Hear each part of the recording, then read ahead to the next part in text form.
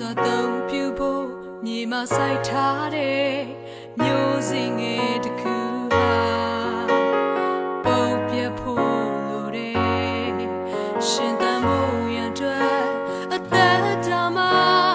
ကြီးထွားဖို့လိုတယ်လောကရဲ့မဆွေ